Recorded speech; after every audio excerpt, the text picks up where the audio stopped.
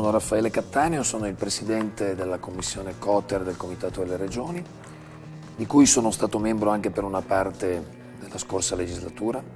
Sono il presidente del Consiglio regionale dell'Assemblea legislativa della Regione Lombardia, che è la più grande regione italiana, la regione di Milano. La commissione Coter è una delle commissioni più importanti del Comitato delle Regioni, è la commissione che si occupa innanzitutto delle politiche di coesione, eh, ma insieme a queste si occupa delle questioni legate al budget dell'Unione Europea e quindi a tutti i temi finanziari, eh, si occupa poi dell'agenda urbana, delle politiche dei trasporti, della programmazione dell'uso dello spazio, eh, della cooperazione trasfrontaliera. La sfida principale per la nostra Commissione naturalmente in questo mandato è il nuovo piano per gli investimenti in Europa, il piano Juncker, che riguarda i temi principali del nostro lavoro e quindi la possibilità di rimettere in moto un circuito virtuoso di crescita, di sviluppo che però sia costruito anche con il territorio e con le regioni. Noi dobbiamo ripensare le politiche di coesione, eh, molti dei suggerimenti che sono contenuti nel parere sul piano Juncker del Comitato delle Regioni discusso nella nostra Commissione sono stati poi recepiti nel confronto col Parlamento europeo nell'ultima versione del regolamento, quindi un esempio positivo di efficacia del lavoro del Comitato delle Regioni. Potrei fare moltissimi esempi di risultati concreti delle politiche di coesione europea, dell'uso dei fondi strutturali nella mia regione,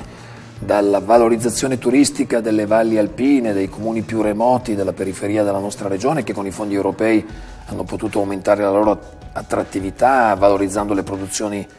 enogastronomiche locali, mh, mettendo a posto i sentieri di accessibilità alle valli alpine, eccetera, eccetera o i progetti infrastrutturali significativi, per esempio stiamo realizzando con il contributo dei fondi europei il collegamento ferroviario fra il Terminal 1 e il Terminal 2 dell'aeroporto di Malpensa. Un'Europa che sia solo top down, cioè che sia solo concepita in una direzione che va da Bruxelles verso i territori, che diventano solo gli attuatori delle politiche europee, è un'Europa destinata a non funzionare. L'Europa che funzionerà è l'Europa bottom up, quella in cui i territori si sentono partecipi della costruzione del disegno europeo e si sentono pienamente parte delle politiche europee. Ma per fare questo c'è ancora bisogno di un lungo percorso. Molta strada è stata fatta dal Trattato di Lisbona in poi, il ruolo delle regioni e anche il ruolo del Comitato delle regioni è cresciuto dentro l'Europa.